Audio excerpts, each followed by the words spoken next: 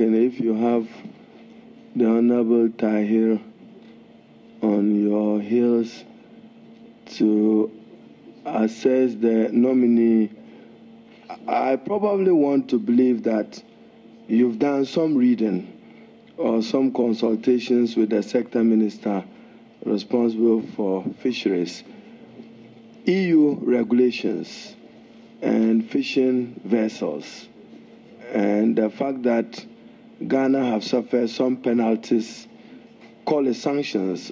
Ghana has suffered some sanctions in the hands of the EU for unregulated fishing.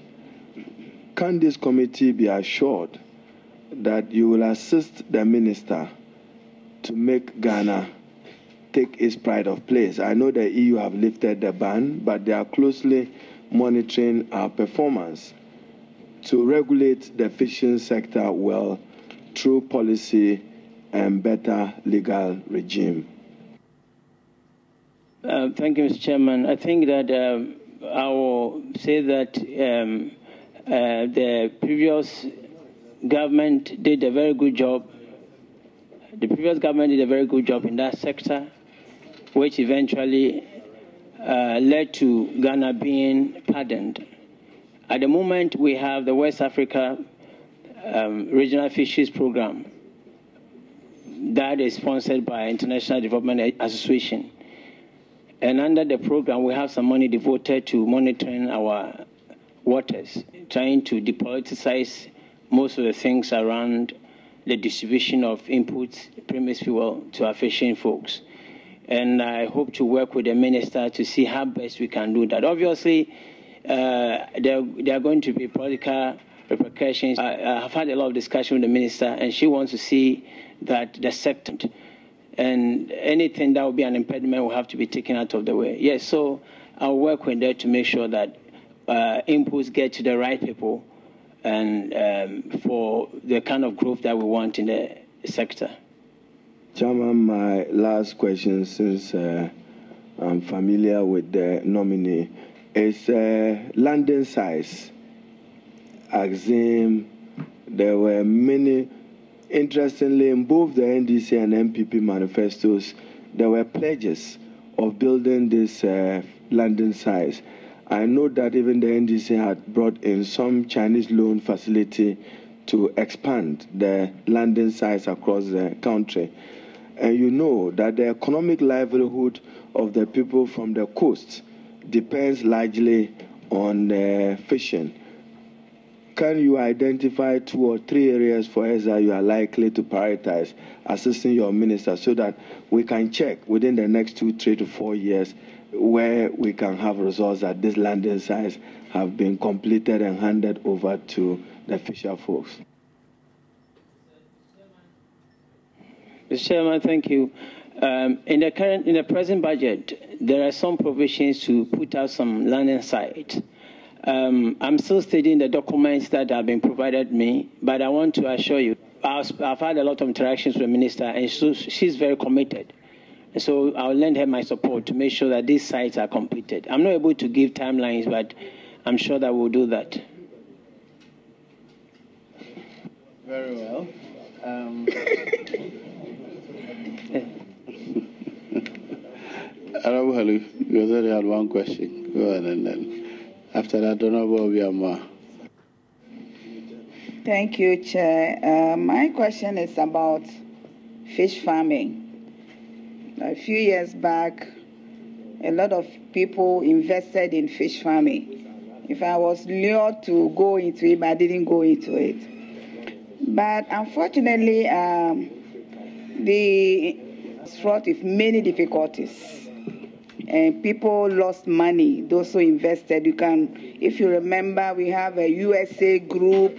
People invested a lot of money, but unfortunately, the whole thing collapsed and uh, needs to be revamped.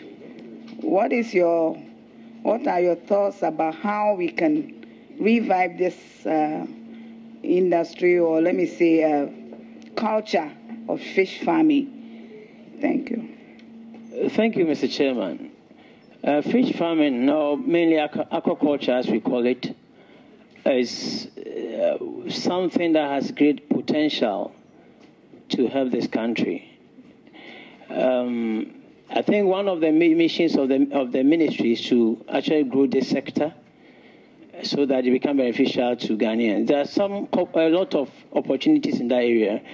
There's a fingerling business. You can just decide I'm going to do fingerling, and then at the end of the day, you get your money from there. Or you can decide I'm going to do the feed, or decide I'm going to do pond or cage fishing. So that is the, if you like, the quantum of opportunities in that area. I, I believe that these days we have been talking a lot about galamsey. And I believe that if we take fish farming to the next level, we can actually use aquaculture to address the galamsey business.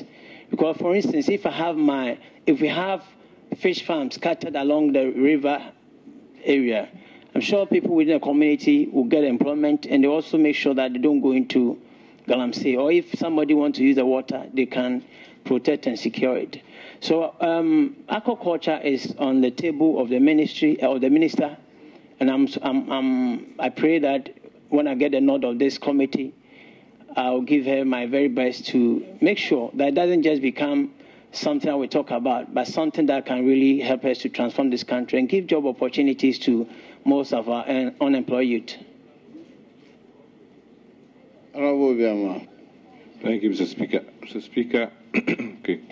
Congrats, Mr. Chairman. Congrats to uh, a member of Mr. Chairman. Congrats to Honorable Francis Ato Codjoe. Um, just before the question, I just want to make a comment that when you in, when you're in Parliament or when you are before a committee and you start using the word assurance, it has a different meaning because it can be brought back to the Parliament to find out whether indeed what you assure the committee, you'll be able to fulfill it. In a month or so, I should be able to come to speed. Um, whatever I don't know, I want to ask to be educated. I want to learn. I want to apply what I've been taught. And so I can promise the, uh, the, the committee that I'm going to learn and then be come to speed on the aquaculture plan for national aquaculture plan. Thank you. Thanks. The honourable minister has not really explained to you the aquaculture plan yet. Well, um, I want to make it easier for you. You've read the NPP manifesto. Yes, yes, Mr. Chairman. Um, what does the manifesto say when it comes to fisheries?